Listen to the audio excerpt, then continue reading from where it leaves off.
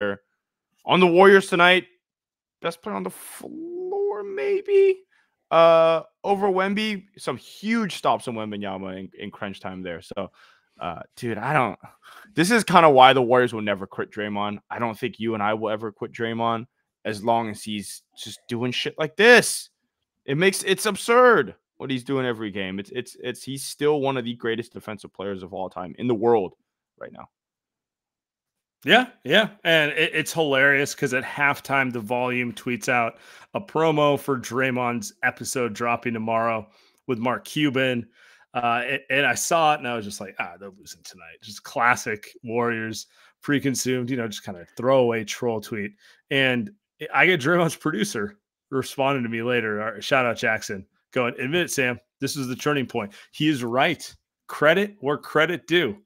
The volume tweeting out the promo of Draymond and Mark Cuban, that ignited the run right there. That's it. We need more Draymond podcasts to save the season. That is the, the problem has not no, been too many podcasts. The problem has been not enough podcasts. Is uh is Draymond is is Mark Cuban a bigger get than LeBron? Are we are we we like that one? It's it's uh so why Draymond's locked in, right? He got Mark Cuban on there. They're gonna fake talk business for an hour. yeah, exactly, exactly. oh, anyway, uh, I thought that was some of the best ball Draymond's played in a while. Um, I don't know, man. It, in some ways, I don't know how much I even want to go into the game because we've seen the game before. That the Spurs just played harder than them. They played smarter and harder than them the first half. They're not a more talented team. No Devin Vassell, no Keldon Johnson, no Jeremy Sochan. Three fifths of their starting lineup, and it's not like they have a super talented roster to begin with. Uh, they did have Wemby, who it's not like those guys are any good, but yeah, go ahead, go ahead. besides Vassell, besides Vassell, Wemby, yeah. Wemby's pretty special. But no, I no, I no, no, no. Sorry, I agree, I agree. I'm saying like it, it's yeah. actually better for them to play through Wemby and like not ever make, not ever let Sochan or Wemby or Keldon Johnson touch the ball. Like I actually like that. I enjoy that sure. version of the Spurs better. But anyway, sorry, good. Yeah, go ahead, go ahead. Yeah, and and what was the first half of the game? Just Spurs playing harder, but you know, Draymond ignited them in the second half. First 2010 game in God knows how long for Draymond. Six steals. I mean, it, it, just vintage Draymond. It was, it was, I'm going to take over the game in a million different ways. You know, it's coming. If anything, I hope Draymond does something dumb right before the play in because then you guarantee yourself in the play in he's going to do something no one's ever seen before and take over a game. Right? He's got he's got to atone for his mistakes. Uh, happy Easter Sunday, right? So so for Draymond atoning for his mistake a few games ago, the comments are bringing up that you know anytime Draymond does some dumb stuff, you know, which happens uh, hopefully just once a month now. He's going to play great after. And, you know, it's right. It's right. Can we just read out his stat line? Eight for nine, two for two from three, hits a game clinching free throw at the end. He has 21 points, which in and of itself is amazing. He has five turnovers, four of them in the first half. And he has 11 assists, six rebounds, six steals, mm-hmm. and, and one block. And, and, and essentially that, that steal on Wemby was the one that kind of just uh, the thing with Wemby is he's amazing on offense, but he's still kind of in that in between area on offense where he's not super comfortable going to a jump shot in crunch time. Right. Oh, he's 20 years old. So when he tries to drive, Draymond knew he was going to drive, and he's helping off of he's helping TJD, and then he just swipes it away, and you're just sitting there, just like, dude, how many times have we seen that, Sam? You and I, all Warriors fans, everyone listening, how many times have we seen Draymond make that steal? It's it's it's unbelievable don't, that he, don't that sit in no man's it. land against Draymond. you're, just, you're just gonna always get taken. No, yeah, and that's kind of look. A lot of this season is. I feel like I want to see them have a strong finish this season. No one thinks this team's going to go on a major run. I honestly, I think back to what our guy Waz said. He's like, just make the playoffs would be a success for this team. And I, I think I agree with him. Uh, get out of the play in, be in a playoff series, see what happens. I will consider that a success given where they've been. Uh, but the part that's also exciting for me is like just kind of thinking about this team in in construct of okay, it's two years in a row they've been kind of this lethargic 500 team, which like at moments looks good but we know is not a real team. Two years in a row, you you kind of you have to stop saying like, oh, it's just a little bit. No, it's just kind of who you are, right? Which means there's going to be big changes in the offseason, which means I'm evaluating all these players kind of over the lens of who do you want to bring back versus who uh you know who who's who are you okay being in trade packages, right? Like that sort of thing. Uh, and as frustrating as Draymond is, and I know as much as everyone wanted to get rid of him midweek, this is why it's a more complicated question than than just like ah he's over. He's, he's, he's hothead. He does this. He does that. It's like you know what? He's like one of the only guys I can trust when the moment counts to literally just to have the balls to play in those type of moments and and also just IQ that's the other part of it. Like you you mentioned the steal if it was that easy a lot of other players would do it. And you know what? They don't. He's he sees the game faster than anyone else. Yeah um he's not someone I think it's pretty obvious no matter what happens, he's going to be on this team.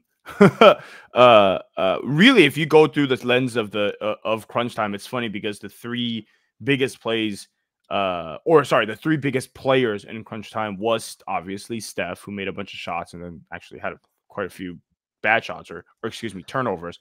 Draymond, obviously, we talked about the rebounds that he got, but one of the offensive rebounds who does it go to? Who does he pass it to to hit one of the biggest threes? Actually, the biggest three of the game is Clay. So it, it's it's funny uh, to me that those were really the three guys that made those crucial plays in crunch time. I, I actually think you can argue that even TJD probably needs to be playing in crunch. Like one of the big, big, big things about TJD when you talk about evaluating someone that I think should probably stay on this team and even play more minutes moving forward is they need TJD to play next to Draymond. Draymond is not especially at this point in his career, like you can't just put him at the five with nobody else around him that plays defense. And so that's really the thing to me. It's like, man, is it, eh, watching TJD be able to at least put a body on Wemby is uh, makes makes Draymond's life so much easier, so he can roam, get steals, all that stuff that he does better than everyone else, right? So that's kind of the uh, that's what I saw tonight. That I was extremely um, I was optimistic about. Like that stuff makes me yeah. like at least giddy moving forward. no, nothing about it. But it's just like, man, those two guys are those two guys your four five? Because I'm I kind of like it, Sam, especially defensively. Yeah, no, I I mean Trace has been awesome the last month plus. Uh throughout the stats on the old Twitter. I mean, he's averaging like a double double in 24 minutes. The energy speaks for itself. Uh, gets his hands on a bunch of stuff, gets a lot of blocks and steals, and uh, finishes like he's polished. Also, like the thing I really like about him is he knows who he is and he knows who he isn't. So he's like the best version of that rim roller. Can make the second pass. Uh, can switch a little bit. Can kind of play off. Like he's not trying to like take the ball and like prove he has one on one game or do like he knows who he is. And and I think that's a big part of it. It's like figure out your role and just figure out how you can be the best version of the player in that role. Uh 18 points the other night on on Friday night, kind of doing the same thing, right? Just just nothing impressive. He has great feel around the rim. Now mm-hmm. we're turning this Draymond segment off the top into a, a TJD segment. Um, but just the feel around the rim, like he's going up with it no matter what, it always goes in. I don't actually understand sometimes how he gets the angles. He shoots them from super weird angle. Honestly, it just tells me that that's a guy that's just been doing it forever. I didn't watch yeah. him in Indiana, but I assume that is exactly what he was doing in Indiana. I, I, I imagine that he wasn't shooting threes in Indiana, right? Probably no. not what he was doing. He's probably doing the exact same thing. Uh, and really, like the pointed stuff is is like you think about what happened with Wiseman. This is not really a knock on Wiseman uh, because we've done that enough. It's just a difference in in in in who a player wants to be and how they how they are going to be uh, useful as an NBA player. TJD knows what it's going to make him useful as an NBA player. Set a screen, rim run, finish, play pretty good defense. That's that's all. It's all he needs, and he's going to be in the NBA for a, a long time. Like I, I'm not sitting here saying he's this amazing player, but he is a perfect fit for the system. We just watched the ending of the Knicks. Like, isn't Hartenstein just going to have a super long career because he just kind of just does the, just, just those little things just really well. He just great screen well. setter, great screen setter, great passer, rebounder, all that stuff, right? Yeah, protects the rim eh, to best of his ability. Going to finish inside. You know, to your point, like, and I think that's the other part of it. It's like when I look at the Warriors, and we can talk about this more in the offseason, we're going to probably have time to. Uh, they do probably need a true number two to alleviate pressure off of Steph. Steph had another phenomenal game tonight, but it's like I don't know. You look at every team in the playoffs, they got two bona fide guys who could go for 40 any given night. And you look at the Warriors, and it's Steph and a bunch of dudes who fill the gaps for the most part. Yeah. Um, but beyond that, and I know it's like very kind of sexy to just talk about like how they need a number two. They also need just guys around it because like the Lakers have a great top two, and they have nothing really around it. So, uh, you know, the Trayce Jackson Davises of the world, the Podziemskis, the Moody, who we're going to talk about a little bit in a minute. Like you also you need both. You need both. You need to get a second star to go around stuff, but you also need to have the requisite amount of like athleticism, size, and just rotational value around your two guys. Otherwise, you're just gonna like. I don't. I don't mean to pick on the Lakers. Well, a little bit, but like you know, they're kind of like, okay, everyone in the world would want LeBron and AD on their team, but do you really want any other Lakers? Do you want D'Lo? Do you want Rui Hachimura? Do you like like eh, that? That's the epitome of like, okay, you figured out the top two parts, you have nothing else.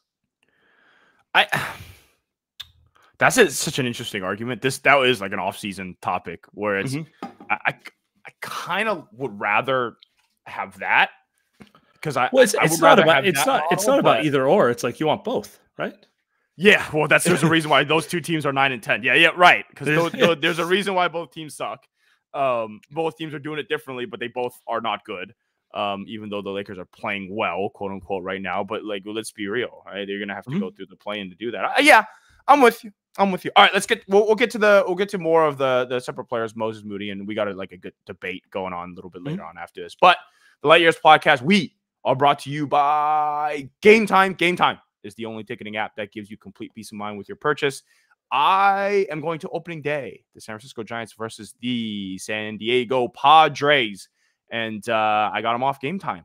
Uh, good thing is I could see the seat immediately, saw the prices immediately, super easy UI um, uh, best price, uh, guaranteed, all that fun stuff. Um, so you can see the view from your seat before you buy. You know exactly what what to expect when you arrive. All in prices.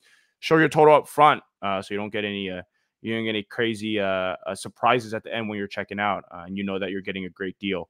Uh, you can buy your tickets in seconds with two taps. Game Times have has deals on tickets right up to the starter event, and even an hour after it starts. It's the place to find last minute tickets and last minute seats. Find exclusive flash deals and sponsored deals on tickets for football, baseball, basketball, concerts, comedy, theater, and more. And the game time guarantee means you'll always get the best price. If you find tickets in the same section and roll for less, game time will credit you 110% of the difference. Take the guesswork out of buying tickets with Game Time. Download the Game Time app, create an account, use code LIGHTYEARS for $20 off your first purchase. Terms apply. Again, create an account, redeem code L I G H T Y E A R S for $20 off. Download game time today. Last minute tickets, lowest price guaranteed. Nice. Nice. And we are brought to you by Unified. Whether you're a world class athlete or a podcaster like us, we all understand the importance of mental and physical well being and proper recovery for top notch performance. Unified Healing is a new and super innovative global network of wellness centers powered by Energy Enhancement System or EE System. If you haven't heard of EE System yet, you'll want to listen up. This technology promotes wellness, deep relaxation, purification, and rejuvenation, whether you're here in the Bay Area or hundreds of other locations across the globe. Access to a center is easy and affordable. Interested interested in experience the EE system technology for yourself? Go to unifiedhealing.com slash light years to learn more and find a center near you. That's you, N ifyd healing.com slash light years.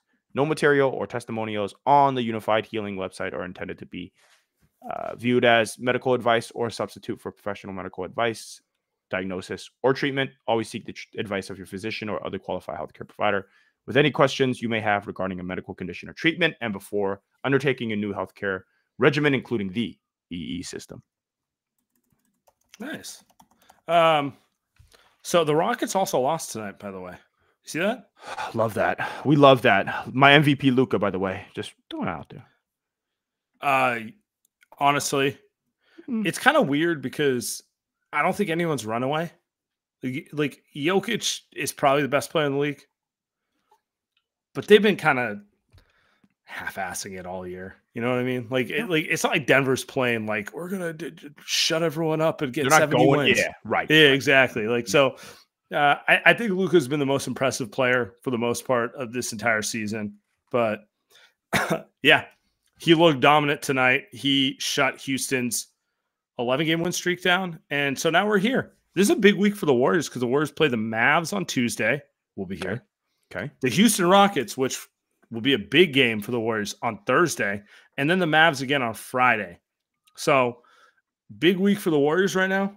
Um, Houston losing buys them two games over the Rockets, which means if they lose Tuesday to the Mavs, they're just in the same position they are. Uh, and on the on the flip side, they kind of got the Lakers coming up a week after that, and they're not that far off the Lakers while owning the tiebreaker. Oh, we are doing this again. Uh oh. They own the tiebreaker, and I also just I, it's worth calling out. The Kings just lost a couple players. They, they lost Huerter. They lost Malik Monk. Mm. They've been pretty unimpressive. I think they, I mean, they have space so they can lose a little bit, but it's not out of the realm that the Warriors move up. It's not. I'm looking at the whole standings here. The Phoenix Suns, who are the seven seed, have the toughest schedule going. It's just like Minnesota, OKC, Denver, Dallas, Minnesota, like a lot of that type of stuff. Uh, I don't know. Where, where are you at the Warriors here? Because I, am looking at this. I think it's. I think we can all admit they're not getting out of the play-in, but there is opportunity to move up in the play-in. Um, we were just talking about them a couple weeks ago getting the six seed.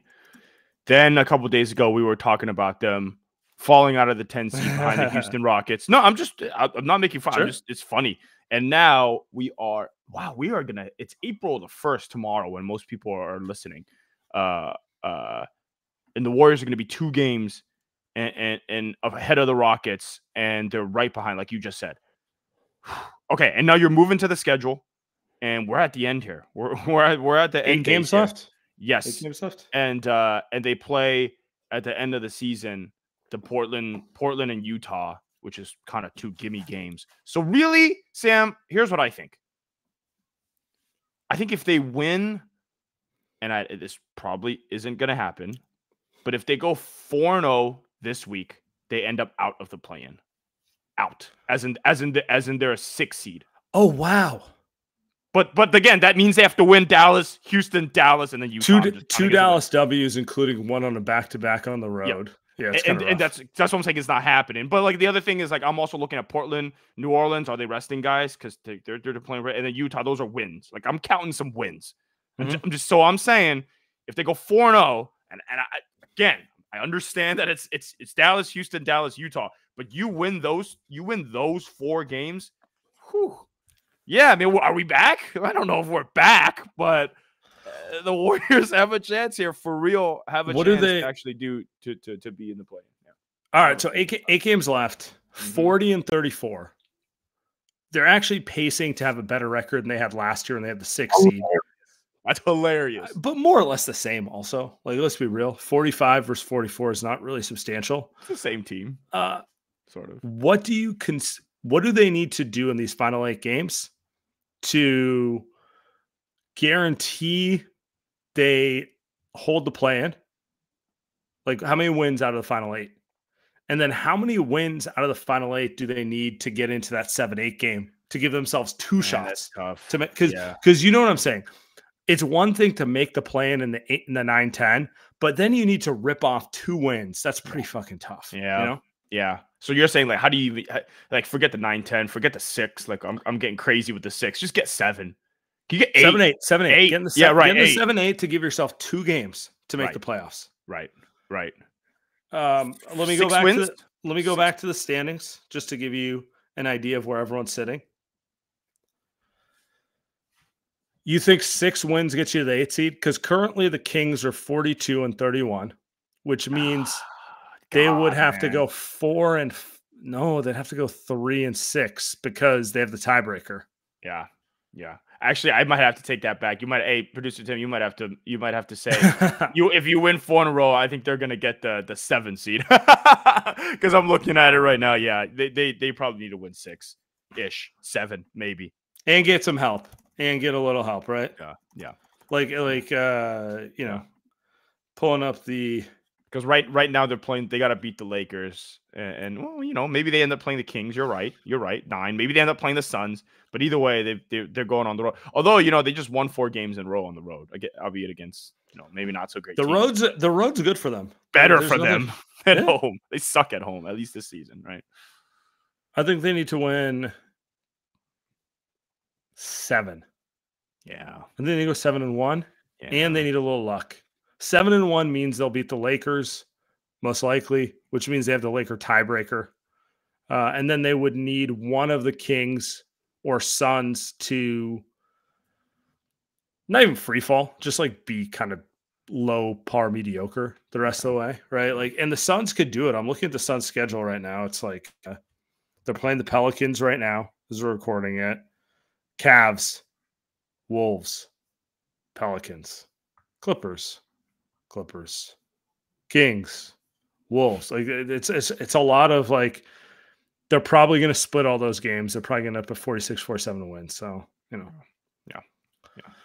Man, seven wins. I kind of think I kind of think you're right actually. So, uh, uh, they they've put themselves in a position where, you know, it, it's not it's not games that they they like that Minnesota game on the road is, is like, man, they're, they're not winning that game, even if they mm. play really, really well. Like, I don't see those games on the schedule. Like I, I, don't see you can say they could win all those games, but then you know you go but you go back the other way and you're like, well, could also see them just losing Dallas twice this week.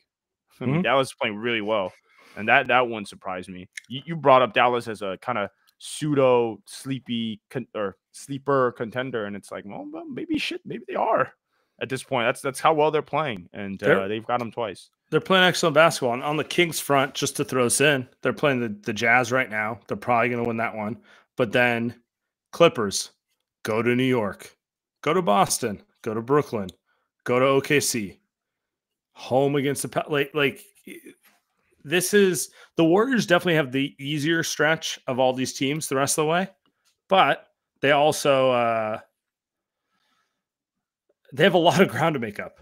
You know, like that's the thing. Like they they probably I'm looking at this way. They need to win against Dallas on Tuesday, and then I might I might buy that they could sneak it off. But GSW fan 07 says it perfectly. They dug themselves a hole. It is what it is. You know, they're kind of in a hole right now. Yeah, it is. I mean, a lot of these teams have 31, 30, 31 ish losses, mm-hmm. 29 losses. Like, I mean, how many times can you say the Warriors cost themselves three, four, five, six, seven, eight, nine, ten wins this season? If you want, even if you don't want to get crazy about 10 wins they've cost themselves, you can definitely count four. Just just just you can just count four off the bat where would they be right? We say that all the time so that's yeah. that's who the warriors have been this season so. I do think it's a big week and it'll be a fun week for this team in general. Like i do want to see them i do want to see them make the playoffs. I want to see I want to see changes in the offseason, but that doesn't mean I don't want to see them finish the year strong. No. Like in general, like I don't I don't know what strong means, but I don't want to watch Steph and Draymond go home uh, before the play-in limping. Like that's sad. I don't want that. You know. Well, you know those guys are on fumes right now, which is the crazy part about this. Steph Steph was on fumes tonight. He was mm-hmm. really good. Draymond uh, was on fumes, but I think getting kicked out of a game here and, and getting pumped up tonight at halftime got him going again. But I think you know these guys are on fumes. These guys are not like we've rested a week or two and they're ready to go uh, like let's go, right? We watched the Lakers the other night get blown out by the Pacers. It's like, man, they are on fumes. Uh, they just these older teams are just are just going to be not as as lit up as kind of like the Thunder, where, where they're going, mm-hmm. getting after it every single night. But at the same time, you're also saying, well, Steph had freaking 33 tonight. He looked amazing. He looked unbelievable. Steph did tonight, and and that's that's part of what makes these guys so good. Clay shoots shoots a terrible game and then hits that game clinching shot. Isn't that just mm-hmm. Clay in a nutshell? These guys. Yeah. You know. Um, let's do prize picks. Before, all right, let's do, let's do, okay. We are brought to you, the Light Years podcast, by Prize Picks. Prize Picks, America's number one fantasy sports app with more than 3 million members. It is the easiest and most exciting way to get in on the action uh, while you watch your favorite sports and players. You just pick more or less on two or your more player stat, two or more player stats. Watch the winning, winnings roll in. You can now win up to 100x your money on prize picks with as little as four correct picks. You can turn ten dollars into a thousand with NBA NHL college basketball entries today on Prize Picks, America's number one fantasy sports app. Whether it's tournament season, we are in the final four, and I've found a favorite player. Uh, you can go on Prize Picks, pick more or less on DJ Burns Jr. if that's what you want to do. Uh, there are no shortage of high stakes basketball moments moments this time of year. Get in on the excitement with Prize Picks, America's number one fantasy sports app, where you can turn your latest hoops knowledge into serious cash.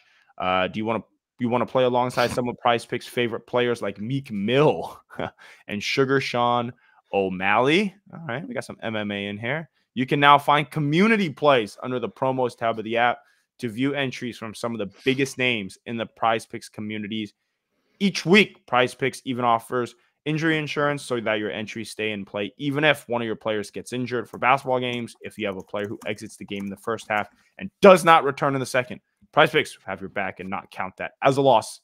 So download the app today. Use code Lightyears for a first deposit match up to one hundred dollars. Download the app today. Use code Lightyears for a first deposit match up to one hundred dollars. Pick more, pick less. It's that easy. Let's get to the goons. We're in the money end of the. Actually, let me ask you this: How are you enjoying the men's tournament? How are you enjoying the NCAAs? I can we can we expand that to NCAA tournament men's, men's and women's? Can we do that? Can, oh, I know everyone's. I was. I had two thoughts on it because I think okay. everyone's go, go, go for the women's tournament on yes. Monday. You go. First. Um, but the men's tournament was playing today, which is why I was asking. Yeah. Um, I thought I thought the games were good. I actually enjoyed the uh, the NC State game was fun. Um, I was I had an argument yesterday with with a friend of mine. We were at uh we were just at a at a birthday party and we were watching the college game. So they're coaches, right? They coach high school teams, and uh, they were asking me like, "Hey, you, you never like, coach, bro." well, they asked me. Um, it's actually my boy's girlfriend, and so she coaches. And she was like, "Oh, you don't watch college basketball?" And I was just like, "I don't like it. Like, I just I don't think there's it's, it's boring to me." And and she made an interesting point to me, and she said, "Well, we love it. Like we love it. I like watching it more than than men's basketball, NBA especially because it's more of a team game. And I and I'm telling her like, well, there's a lot more skill in the NBA, and she's like, yes, there is, but and she's talking about both men and women's college. Correct. Basketball. She's like, most of the time, it's just a guy playing mismatch hunting and and essentially playing heliocentric ball. And I'm kind of sitting there, I'm like, well, you that is a really good point because these oh, guys oh, in NBA are so factual. Yeah. Right. It's it's just so true that hey, if that's what you like, that's what you like. If if if Luka getting out there and just just going for 55 like he does every other night, and he just passes the ball to, to, to a guy to shoot a three because you know that that's about what it is. But where in the college basketball, it's it's they actually they actually have to play kind of Steve Kerr offense because they have to. No guy is good enough to do that. So no one dropping 15 threes in a game. Yeah, yeah, yeah, nobody's good enough. So I I get I, maybe that's your standard college versus NBA argument, though. I, I just I find it hard sometimes just to watch college where where guys just aren't good enough. They just end up passing the ball on the perimeter around a lot, and then it's a post up. But you know, that's I, I the DJ Burns is the guy that I ended up loving watching. That's the guy where I was like, okay, I could watch this freaking dude all day long, all day long. Sam, that's my guy. I I personally enjoy both but I do like know what I'm getting into with both. And yeah. with that said, the tournament is unmatched because it's 99% of the players you're watching in the tournament. This is the biggest game they're ever going to play in their lives. And they play it that hard. And like, that's just fun to watch, you know, uh, in general. But like, to your point, the NBA is just much more skillful. So, I don't know. I, I can get behind all of it. It's all fun. But with that said, like the tournament's just I don't know, man. How how single elimination, single elimination. It doesn't yeah. matter what it is. Yeah, it's like watching right. people try to figure it out the entire way. Like it's not even about the quality of the game as much as just the intensity. Intensity the entire way out. Yeah. Yeah. Can I can I one thing I I I uh one thing I thought of too is I was so I was watching the women's LSU game on Saturday yeah. And then I watched Caitlin Clark after. And mm-hmm. one thing I one thing I really because I watched all the men's stuff and and and same with you like I mean, we sure. got dude crying and stuff and Zach Edey today was like pumped up after the game. The thing the thing that that I wish we're gonna get to see and I don't know if this will ever get changed is that dude I watched the best women's player play on Saturday. Then Paige Bueckers, who I just learned who that was, is I guess the second best women's player play on Sunday and and that LSU team, Angel Reese is probably like a top 10 pick or something like that. So we're watching all the best players, and then USC has this player that that's also going to be another Juju's amazing player, probably- Juju, Juju's right? amazing. Yeah. She's 18, so she's a freshman. So we're watching all these amazing women's players that will be in the WNBA or at least top five picks versus the men's. Where let me tell you, like when I watch Zach Edey and and and, and that Purdue team looks looks pretty damn good. it's- Like like I know I'm just saying I'm just saying that's the only thing. I'm But you saying, know like, what? You know like, what Zach it is. I would like to see I, who's the number one pick. Who's the number one pick? Alex Sarr, right? I just would like to see him. I never even seen the guy. I don't even know who that guy is. I don't even know what he looks like. Is he seven feet tall? If you told me he was five eleven, Sam, I believe you. I'm just that's just all I'm saying. That's all I'm saying. Chet is the same age as Caitlin Clark and Angel Reese. I think it's that simple. I think it's in the women's game, they stay three, four years every time. So, like, like we all saw Caitlin Clark two years ago. And we're like, who's this girl pulling up from Steph range? And then she came back another year, and then Mhm. she came back another year. So it's a whole thing. The men's game, we all saw Chet as a freshman, or like, oh, he's an interesting player, goes pro. We He didn't even Cade use him the right way either, though. That's the thing. But, but, but that's my point. Like, you, you know what I'm saying? Like, nobody who Tyrese Maxey. No, he's one year too much. Sorry. Um, Kuminga. Kuminga would should still be in college if we're using that type of logic. I know, I know. so I- that's kind of, I, I think it's really that simple. I think it's as simple as like you have now over the course of two to three years, the top women's players, you've like learned to know who they are. You've followed their teams. You've developed like you like them, you hate uh, whatever it is. Like you've developed that. Whereas with the men's players, like oh he's good, okay he's pro later. Yeah, like you know, oh okay, or they're not five. playing somewhere we know. That's the, Sure. that's the other thing. We're not playing somewhere we know them. And you're right. So Reed Sheppard's a top five pick. So okay, so he gets bounced in the in the whatever this season. We don't even I don't even get to see him in March Madness. But like yeah, to your point, like he would be playing next season. He's- We, we would know go, Reed Sheppard. six overall or something, right? You know, Yeah. and and and you like you were excited to see Reed Sheppard because you heard about him. You're like, all right, let's see March Madness. Let's see him. has one bad game, bounced from the tournament, and now he's gonna go pro, and it's just like, all right, it's gonna take you all of next year to figure out who the hell Kentucky has again. So Yeah, it's just kind of like the nature of college, and, and like the other part of it is, even if guys stay, they'll probably transfer a little bit. So Yeah. I, I don't know. It's the hard. men's game, I just try like to your point, Zach. He, he's like, uh it's cool, but like he stayed for four years for a reason, you know. Yeah. yeah.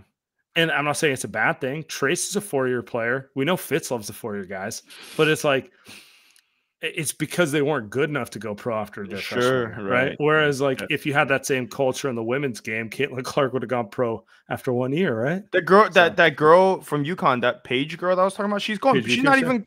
I don't. She's not even going pro. She's would she make? Would she make more? And Well, that I'm not. I'm not arguing. that. I'm just saying, like she's she's uh, going pro. She's staying in college, which is, and and I and I, and my boy who watches women's basketball, and he's he's sitting next to me. He's telling me that he's telling me that she's better than Caitlin Clark. she's like, yeah, she's a better player than Caitlin Clark, and she's not even going pro. And I'm just like, man, that's crazy. That's crazy. So anyway, I I enjoy from. Not I respect. I respect the argument, but like the take. You like he's a takesman. I respect that. I'm not arguing one way or the other. I, I just uh I it's not, like it's not an unpopular opinion to think like she might be better than like like Cait- Caitlin Clark gets the uh the Harden where she plays with terrible players so she gets the stat pad a little bit, you know. But Yo, she shoots a lot. Uh, I thought it was pretty funny. I, but she's really good passer. I thought it was. I was like, man, she's got a high usage rate. I was thinking Phenomenal about this from an NBA perspective. I'm like, let's let's not be toxic again. Let's enjoy the game. I enjoy watching. I enjoy watching as someone that doesn't watch college basketball anymore. I just enjoy watching top prospects play. That's all I care about. It's Sure. really all I care about. Yeah. So, but but you like to, to the point I was going to say is like one of them is playing with other top players and the other's playing in a uh, let's get- let's get her 50 shots. she and, really like, is there's- Steph, though. She there's really there's Steph. pros and there's pros and cons to to both of them. How many have I watched to the chat? The vast majority of the last three years. I'll put it that way. Okay. Um. Yeah. Anyway, I want to get to some callers. I want Yeah. people's opinions on where the Warriors will finish the rest of the way going forward. Where your head's at with the season. It's our guy Tashawn. To the goons. You know what's really going to be funny? I really think the Lakers and the Warriors are going to be the seven and eight, and we're going to get another bullshit play in seven and eight game in LA for whatever reason. It's been, and it's oh, mainly two. Bron's going to see three rims. it's five rims, five rims. Let's keep it pushing just to increase the narratives. Uh, but I think the Malik Monk injury actually matters a little bit more, and they sneakily have a little bit of a tougher schedule as well. They play like the Knicks, I believe, as well, and couple, and sometimes they play like a couple of the tougher schedules as games like the Clippers, and then they also have to face the Suns without like two rotation players. It's like, yeah, that's a big issue. So the Suns might lose enough games for them to fall into like that nine spot. And then the Kings, I, I really just worry about the Kings, actually. They've been losing. You thought the Warriors have been losing some winnable games? They've been losing to the Kings have been losing to literal lottery teams. like at a certain point, it's like, um, I like Fox, but I, I don't know if he can pull this off at this point. The Kings, yeah. by the way, are, are right now tied with the Jazz. But yeah, they, they look like they. I I've I watched a lot of Kings games just just because they're on at night. They're the only team worth watching. Time zone, time zone. Portland. Sorry, not watching. Do they like each not other? watching Wiz. Not watching Wiz Hornets at four well, p.m. Definitely, definitely not. Definitely not. But like the King, I don't.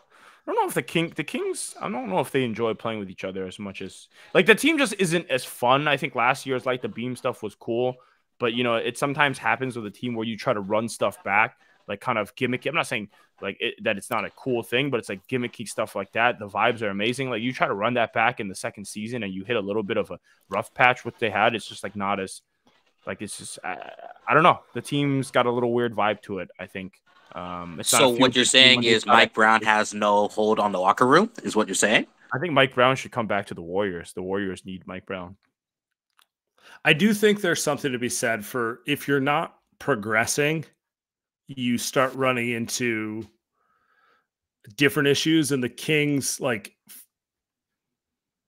they're not necessarily worse than they were last year but like it's not as yeah. cool for them to be like a 46 win team. Right. Right. And that and when that happens you it, it, the expectations right? It's yeah. like we always talk about it's, a team when, when they come up it's great. Like the niners are going to win 13 11 or 13 games next season and nobody's going to be happy. Because eh, you know what i mean? No one's going to be how happy. about the boston the boston celtics? Sure right yeah. They're dominant. No one gives a flying fuck because like right. until they win it all none of this matters. Like they're taking care of their business but like you know until until until they get over the hump it's like okay cool. We've seen you do this before. Um, I kind of feel bad thing the Celtics. yeah, because they're that good. Yeah, the Boston thing is going to get real nasty because I've been hearing all year long that they are the most dominant team since the 17 Warriors. I'm like, come on, man. Like, I know Porzingis has been a hand and glove fit, but like, let's just stop the hyperbole. Like, at a certain point, they got to be serious people and just stop dribbling off their feet for two seconds and just get the job done at some point. Yeah. Yeah. That that Boston one is fascinating to me because if there's one team that I think is like the Warriors, the Denver Nuggets. Um, that that's the one. Is uh, but the Denver, but the Denver Nuggets also like to Sam was saying earlier, like they're not coming out and saying "f you guys," right? They're not saying you guys are disrespecting us. You know, you guys are this and that. They're just saying, you know what, we're good enough. We're we're we're gonna be the one seat, kind of half-assing, which is unbelievable and then they're going to turn it on. Hopefully, Jamal Murray is healthy. I think Jokic is playing hurt a little bit too. So if they stay healthy, they're they'll, they'll I, I think they'll boat race it, but we'll see. Yeah, yeah, yeah. It's just like frustrating to watch that the Nuggets have been like a historically clutch team since like the past ten years. And it's like, oh man. At some point, it's like you gotta give their flowers to them if they can stay healthy. That's the main thing. And I don't know if Jamal Murray can stay healthy again for another playoff run at this point. So we'll see. We will see. I, am I think they're if they're healthy, I don't think anyone touches them. Period. I, am not moved by anything I see in the regular season. I think their ceiling is just so much higher. And they also know how to play with each other. Like what all I need to see from Denver is the close the the end of a close game when they decide to get serious. I'm like, oh, they're, they're gonna blow everyone out of the water because they know exactly how they want to play. At like Jokic, Murray, Porter, Gordon, they all know each other like the back of their hand, and they have the talent. So, Yeah. Mm, that's where I'm at with them. Yeah. Um, honestly, here's where I'm at with this. I, I say we. I say we call it right now. I say we're we're back Tuesday night. Let's see how it goes after the